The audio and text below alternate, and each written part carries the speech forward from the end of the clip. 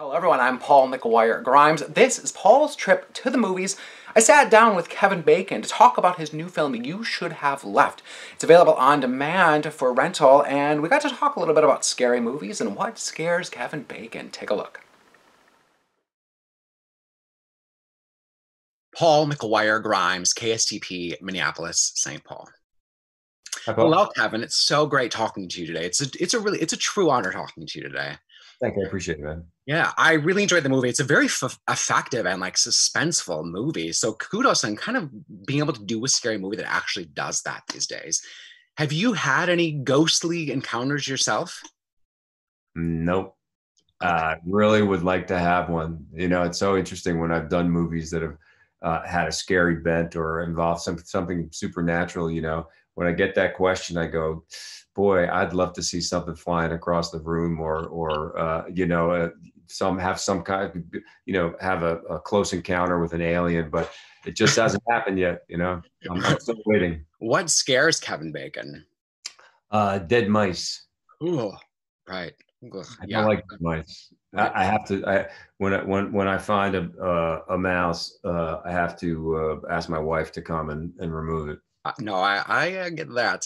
Um, the house in the movie is so eerie and bare and was like another character in the movie. Did it feel as creepy filming there? Because I know some of it was shot in that house. Yeah, we shot we shot quite a bit in that house, um, and uh, I think that the house was interesting. It was a very very important um, location because the house really becomes a character in the film, and it becomes a kind of manifestation of of a lot of the turmoil that my character is is going through.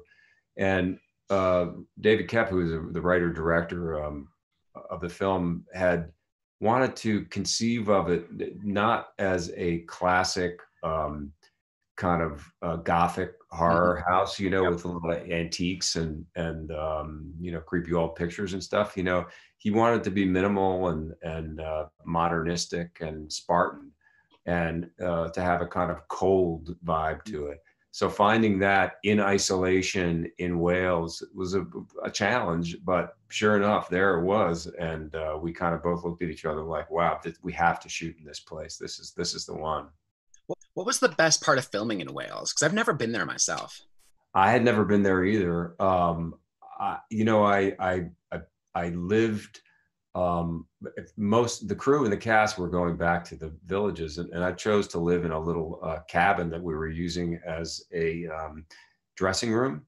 And uh, so at night, everybody would leave, and the and the and the, we'd get dark and dark, darker than I've ever seen. You know, the sky and and uh, quiet, a quiet, quiet that you just really don't ex- experience um, very rarely. You know, mm-hmm. um, and so many sheep and and rolling hills and uh, you know it's a, it's a it's a it's a magical kind of place yeah you and amanda seyfried are both very musically gifted were there any jam sessions in between takes or at the end of the day shooting yeah we did play a little bit i think um, yeah there was a i think there was usually a guitar around I, mean, I know i have my guitar and I, I think amanda might have had her guitar too Awesome. Now I've been listening to the Last Degree of Kevin Bacon podcast, and that kind of you and Kyra are so funny in it together. So I want to go kind of go along those uh, that line. Has have you been stumped? Has anyone been able to find an actor or a director that you cannot be connected to? Uh, I don't think so.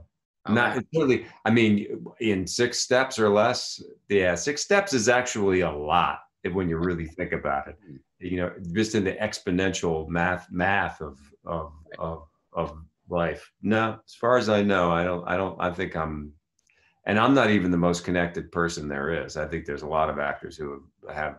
I've seen the like the charts. I'm. I'm like maybe the 150th most or something like that. My last question is, what's your favorite scary movie? And you can't say one of your own. Okay, uh, boy, uh, wow, that's really a tough one. There's so many great ones. Well, I'm just going to say in the in the in in recent memory, I thought that Get Out was pretty remarkable because Get Out um, exists on three levels to me. One is that it's just scary.